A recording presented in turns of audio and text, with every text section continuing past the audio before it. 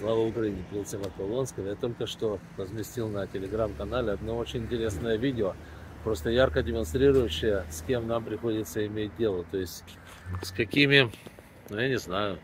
Вот сами рассудите, как их назвать. Значит, э, кому интересно это видео, посмотреть, я ссылочку оставляю в описании к данному ролику. А оно того стоит. Там этот и тон, и самое главное содержание беседы, оно того стоит. Да, значит, российский пленный, как обычно, там у, Золкина сидит и звонок, как говорится, звонок другу, нет, ну звонок домой, папе и маме этого пленного. Он начинает с ними говорить, зовут его Рома. И они такие, это не Рома. То есть, блин, ну, ну, ну кем надо быть, чтобы не узнать своего сына?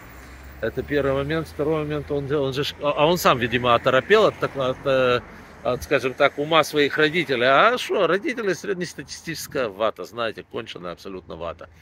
Вот, и, значит, э, он пытается каким-то образом до них достучаться, показывает им, они же, а, а, папа, правда, папа сообразил, папа немного поплыл там, да, он так, а ну покажи татуировки.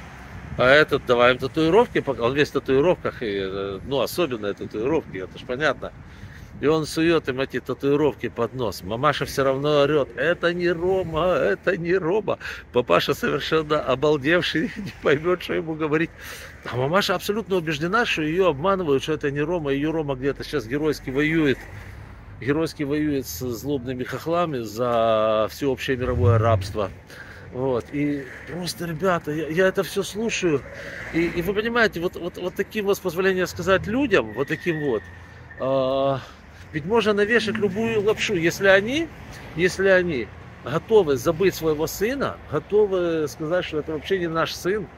И хотя они видят прекрасно, что это он, что ну блин, а он смотрит на них с телефона с расстояния там 50 сантиметров, как я сейчас смотрю на вас. Скажите, можно не узнать Полонского? Наверное, вы узнаете, но вы не являетесь моими родственниками, вы меня там видели пару раз по, по телефону, и то вы меня узнаете. Как можно не узнать собственного сына, которого ты вырастил?